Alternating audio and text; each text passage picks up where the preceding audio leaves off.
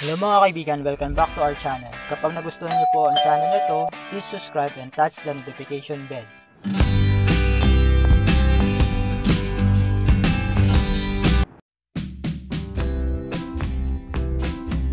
Hello mga kaibigan, welcome back to our channel.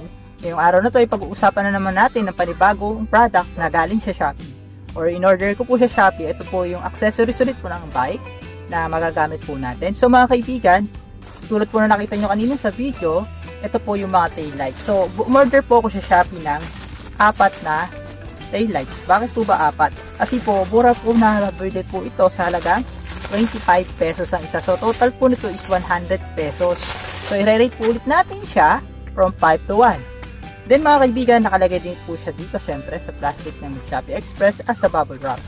Mga kaibigan, so far po sa paggamit po nito, yung tinesting ko po, nakita nyo naman po, um, ito po ay gumagana lahat. So, working po lahat. Makikita nyo at marireceive nyo na meron ng lights. Meron din po siya mga kaibigan na dalawang goma. Yan po, nakakita yung screen, dalawang goma. Plus, the USB charger. So, pag nalobat. So, mga kaibigan, lahat po itong apat na to ay working. So, mga kaibigan, pakikita ko po sa inyo na umiilaw po lahat yan. So, pindutin po natin. Ito po, kung mapapansin nyo, may pindutan po dito. So, yung isa dito na nabili ko, medyo maluwag lang po yung isang pindutan. But still, working pa rin naman. Testingin po natin mga kaibigan. Sige, nakita nyo po. Ilaw po. Tapos, pag pumindot po ulit kayo, nagbibilik naman siya, oh. Ganda po. Oh, tapos tuloy-tuloy po. Siyempre sa gabi, kitang-kita na kayo niyan. At syempre, pag nalobat to, i-charge nyo lang po. At ito po yung steady light niya. Maganda po mga kaibigan. Overall, maganda po.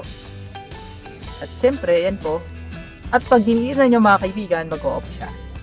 So, testingin pa rin po natin yung iba nating pinili. Take note mga kaibigan, lahat po to ay may kasamang charger. Yan po. Yan po, makita mga kaibigan. Basta, pagbubuksan nyo sa make sure na press nyo lang po ito ng low press. Sa inyo po mga kaibigan. See? Working. Try na pa na natin yung isa. Working.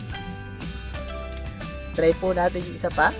Kaibigan, napansin nyo, lahat po sila ay working.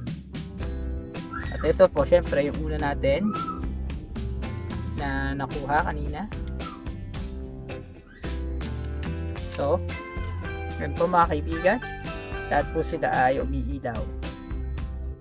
Mga kaibigan, para po sa akin, bibigyan ko po ng score na to or stars na 4 stars. Bakit po 4 star? Kasi po, yung isang item nila ay medyo maluwag lang po itong pindutan. Although working naman, ang isa pang dahilan kung bakit 4 star siya pero hindi po natin alam kung gaano pa tatagal itong ating tail lights. Maganda pa rin po yung product ng Shopee na to dahil sa lagang 100 pesos, meron na po kayong apat na tail lights. O mga kaibigan, kapag nagustuhan nyo naman ang video na katulad nito, huwag nyo naman po akong kalimutan. Mag-subscribe naman po kayo sa ating channel. I-like nyo na rin po mga kaibigan at i-share. At kapag may mga gusto po kayo or na product na i-review or mga katanungan, comment down below lang po. At kung kaya ko pong bilhin sa Shopee, ibibilhin po natin yan. Mga kaibigan, hanggang dito na lang po yung ating video. Have a nice day everyone. God bless.